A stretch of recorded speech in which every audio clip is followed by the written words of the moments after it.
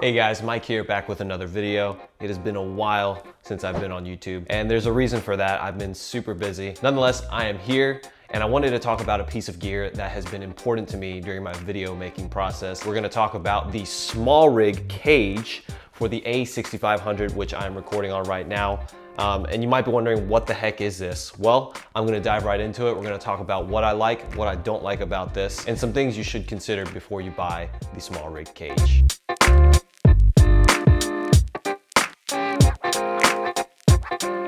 First of all, if you haven't checked it out yet, I uploaded a video on my channel. It's a travel film that I did in Chicago with my girlfriend. It was totally fun. Definitely will be back. Chicago is such an awesome place to visit. I'm pretty sure all of you guys are new here. I'm a videographer based in Dallas, Texas. I like to talk about camera gear, tech, life in general. I do vlogs here and there and I do travel videos as well. Be sure to hit that subscribe button and like this video if you do find it useful. But let's get into the review.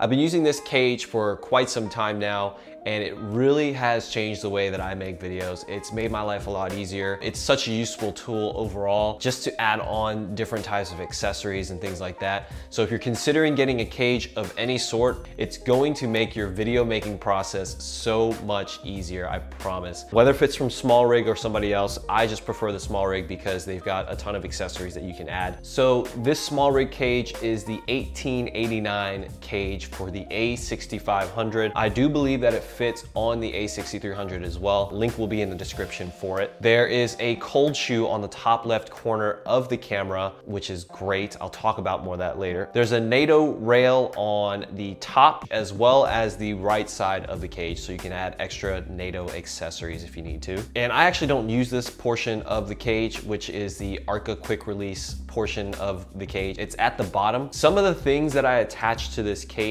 are the handle and You'll see it here. Um, I've got the handle on the side.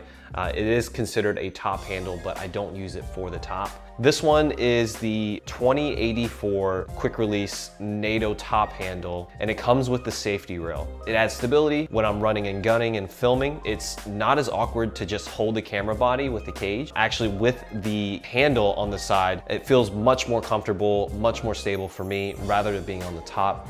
And actually with the 6500 at least, the articulating screen doesn't come out enough to where the handle does not block the view. This handle has a rubber grip, which is awesome. It adds extra grip. I did buy the cheese handle. sounds so funny, but the cheese handle, I don't remember what model number it was, but I returned it because quite frankly, it wasn't grippy enough. It was just all metal. So it didn't feel very secure in the hands. This NATO handle hover is amazing. It actually helps me keep my videos stable. Although the 6500 does have in-body stabilization and some of the lenses have OSS, having that extra stability with the handle and the cage makes your life a lot easier. Next up, I have the SmallRig wooden handle. It's made by SmallRig specifically for the A6500.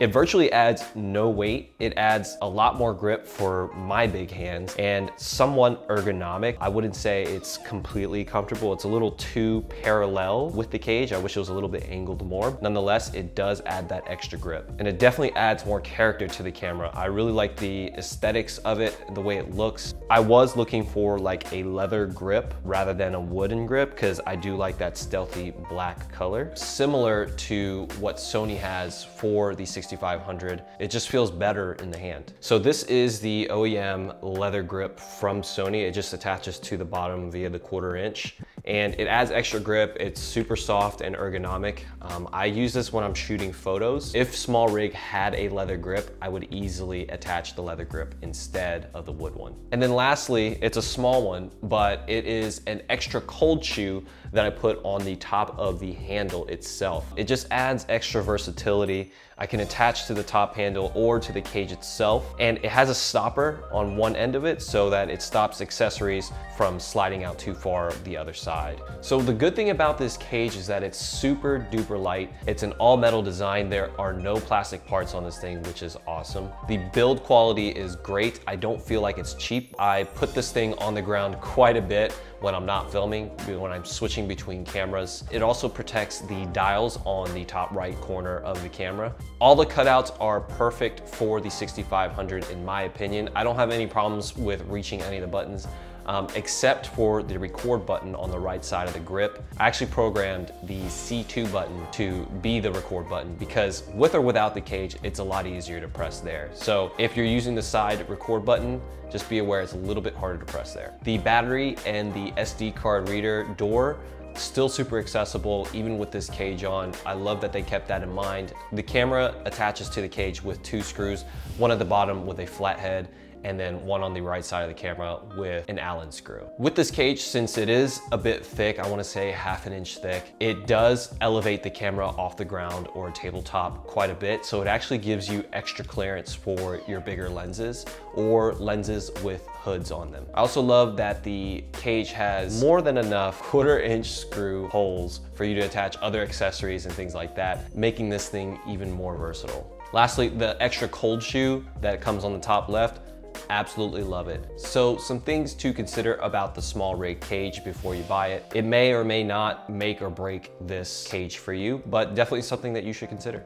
The right side of the cage does dig into your hand quite a bit when you're holding it with your right hand without the grip. So that's part of the reason why I did get the grip. The cage is actually not very easy to break down or take apart. So once you have the cage on the camera, you're pretty much gonna have it on most of the time. You need a flathead screwdriver, or in my case, I actually use a quarter. And then another one is an Allen wrench, a tiny little Allen wrench this one right here. So you gotta carry this in your camera bag, which I do, in case you do wanna take the cage off. Because of the extra weight that the cage does add, definitely don't want to recommend putting this on the Crane M at least.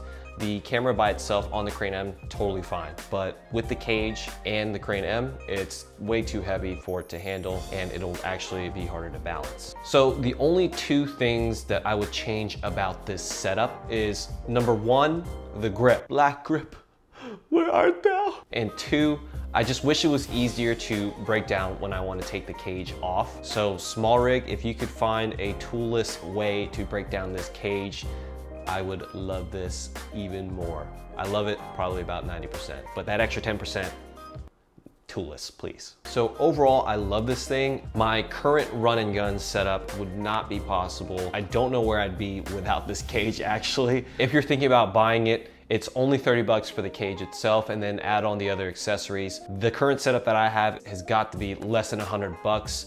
It's a great investment. It's a durable cage. What is up guys? Uh, a little bit of a technical difficulty. The A6500 overheated. Those of you who have it know this problem is really annoying. My overall, you know, thoughts on the cage is amazing. And if you don't have one, definitely recommend that you do get a cage at the very least, and then the other accessories you can add on later. Let me know what your thoughts are. If you have any questions about it, definitely leave it in the comments below. That about wraps up this video. If you liked it, go ahead and smash that like button, as they always say. And also, if you like videos like this, be sure to subscribe to my channel, and I'll be coming out with more content. That's it for me. I'll see you guys in the next video. Peace.